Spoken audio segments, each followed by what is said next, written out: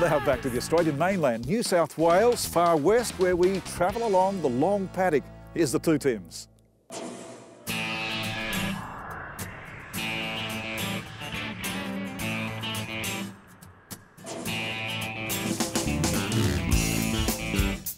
Where I'm walking right now has for over a century been used by stockmen and drovers as a transport route for sheep and cattle and for free range grazing. This is an area known as the Long Paddock and covers over 2 million hectares throughout New South Wales and Victoria. It's an area that's ingrained itself in Australian vocabulary and a place steeped in history. You can almost hear the horse-drawn Cobb & Co coaches crunching their way along the old gravel highway, the crack of the stockman's whip and the crackle of the old drover's fire. But hey, welcome to the new millennium. Looks like our coach awaits.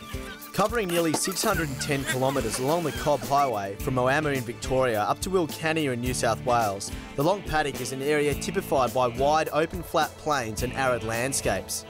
This route, while still used as a droving track, is now one of Australia's great driving tours, encompassing a whole range of activities, experiences and sights for the intrepid traveller to this region. Crossing many waterways on the journey, there is none more spectacular than this here, the Murray River. This is not just a major river, but a state border. New South Wales on one side, Victoria on the other. One classic image that comes to mind when you think of the Murray River is an old paddle steamer chugging its way downstream. In its heyday, this town of Echuca was the largest inland port in Australia and was even considered as a possible national capital. These days, the dream of the Murray is still alive and the town holds the largest collection of paddle steamers in the entire world.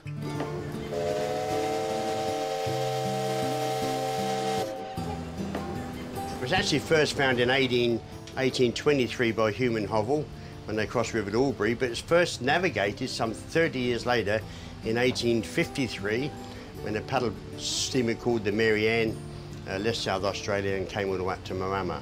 The main cargoes was wool, wheat and timber, which they used to collect from the, from the farms and the stations and bring it back to Echuca. And the reason for that was that Echuca was the nearest place to Melbourne by train. They had pushed the train line through in 1863. It is a different cargo today. It is people today. People and, like uh. People like you, yourselves. Cruising along the Murray at a pace is quite rare for today's society. It's refreshing to be able to take in all the sights, sounds and smells. You can just imagine what it would have been like 100 years ago. Because after all, this was the main mode of transport and this, the region's only highway.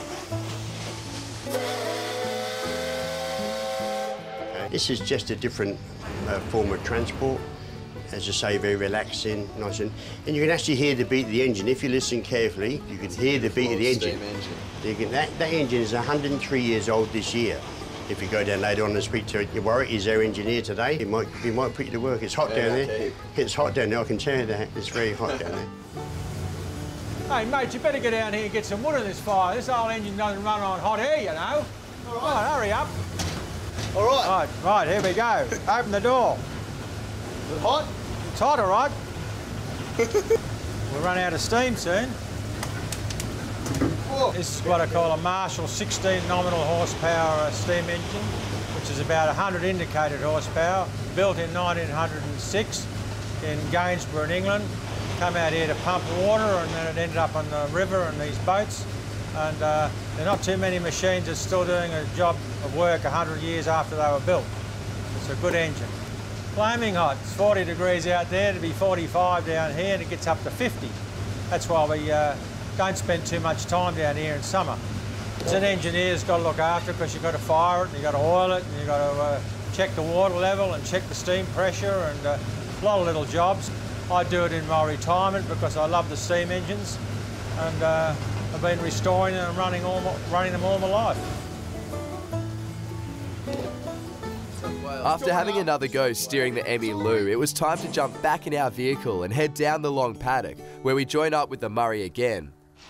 However, this time in a slightly different style. Jumping forward 100 years, we're going to take our Murray River experience to a whole new level. Exchanging steam for sheer horsepower, we're going to get dragged behind this beast of the modern day right here with none other than Brett Sands, three times world barefoot water ski champion. Let's go, man. Let's go, Tim. Let's do, do a it. bit of Wake skating, barefoot and wakeboarding, the whole lot on the Murray, mate. It's awesome. Let's go. Yeah, Echuca is um, bit, bit funny like that where you've got you're right, the old school and the new school. You know, the, the paddle steamers kind of stick to their own little area in the port and then you just kind of meander out of there, mate. And, you know, you've got $80,000, $100,000 boats tripping down the river and stereos going, people wakeboarding, wake skating. It's awesome. But it's, I think that that's what makes the town so great. You get so many different people here and it's a great little spot to come to. It's really awesome to do it on the Murray River just because um, it's, you know, it's nice and protected from the bank, you know, from the wind and all that stuff with the, with the trees and it's really cool. People just float down the river and pull up and chat to each other and you know, what I mean, it's like it's got its own little culture, the way the dudes talk and the clothes they wear, it's insane.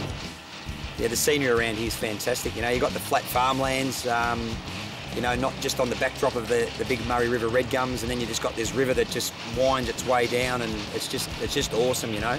It's just beautiful. I wouldn't trade it for anything, mate. I don't need air conditioning. I've got it 24/7 out here. It's great. And air conditioning is something Brett certainly doesn't need. It was now time for the three times world barefoot champ to show us what he's made of. When I was young, there wasn't, you know, wake skating and wakeboarding and all that sort of stuff. So after you learnt to water ski on two skis, then one ski, the next kind of cool thing to do was the barefoot. So these guys that I knew out the river, I was only a young tacker could barefoot, and I kind of looked up to these guys and went, wow, that looks unreal. And kind of learnt to barefoot and uh, become a member of the barefoot club, and it just sort of progressed from there. And after a few years, I was on the Aussie team, and way I went, mate. It was awesome representing our country. There's less margin for error when you're barefoot because the surface area is so small, so the technique's really precise. You've got to kind of make sure that your, your foot's like a little boat. You've got to have a nice little angle on it so the water passes underneath the front of your foot because you don't want it to catch because traditionally in barefooting it's called a face plant, you know, at 40 miles an hour. But if you get taught properly and you've got good technique, you know, it's quite easy. And always recommend to get someone who's done it before to teach you. But, you know, few of the guys just get out there with their mates and go hardcore, and there's a bit of carnage, but it's good fun.